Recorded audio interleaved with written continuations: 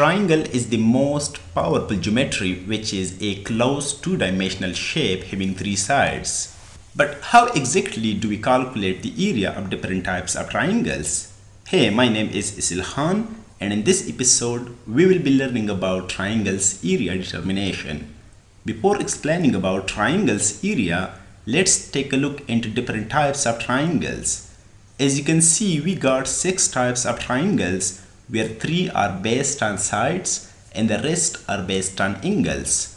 So just stop the video here and study the given table. Like as you can see, in based on sides, we have scalene, isosceles and equilateral triangle and based on angles, we got acute, right angle triangle and obtuse triangle.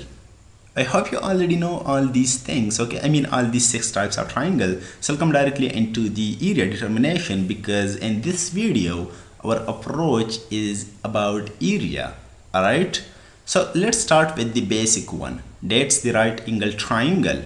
So the area of this triangle must be 1 half times base cross its perpendicular, which is actually just half of the rectangle so whenever you have base and perpendicular of the triangle that is a right angle triangle, you can use this simple formula to determine its area. Also, if you don't have these two elements, you can work them out from other elements by using Pythagorean's theorem and maybe trigonometric ratios. To learn Pythagorean's theorem in detail, just go and watch it in the same channel Link to that video is down below in the video description. Another one is an equilateral triangle which has length of all sides equal. That is just the definition of an equilateral triangle.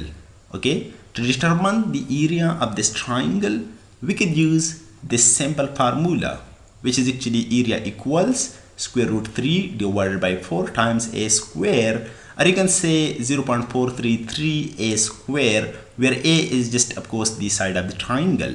The derivation to this formula is also been uploaded in the same channel. So if side of an equilateral triangle is known, just use this simple formula. However, if its side isn't known and its perpendicular is known instead of it, then you can use the same formula used for right angle triangle or you can also work out its side by using trigonometric ratios or trigonometric identities okay? Another one is an isosceles triangle which has length of two sides equal and its area is enough sample. For example if you have sides of an isosceles triangle just work out its perpendicular by using Pythagorean's theorem and then determine its area by using the same formula used for right angle triangle so the area of an isosceles triangle is 1 half base times its perpendicular. The final challenge we can face is the scalene triangle which has all sides different in length. This can also be acute as well as obtuse triangle so the formula for this approach is going to be very important and the formula for this triangle can be used for all types of triangles. So this is very important okay? And that's of course Hero's formula which is of course the area of any types of triangle equals square root s into s minus a times s minus b times s minus c where s is the semi-perimeter of the triangle and abc are the sides of triangle so that's it now let's have just an example okay just uh, to work out an area of a, a, property to know if we have learned something or not. Suppose if we are asked to find the area of the given property, so how can we do that? Alright, so let's come into the solution.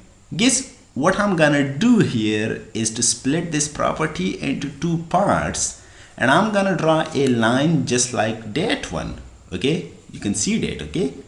So here we got two shapes, an equilateral triangle and a rectangle.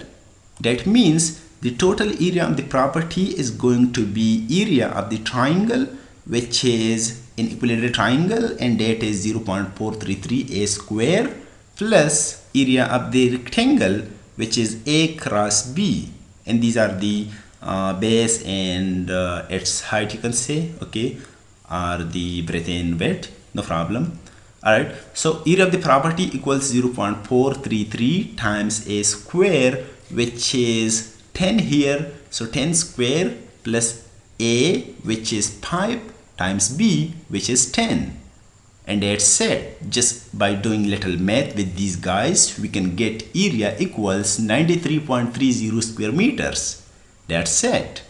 If you have any problem let me know in the comment section. And hey if you like this type videos please support me by smashing that subscribe button. Thank you dears for watching. See you next time. And wassalam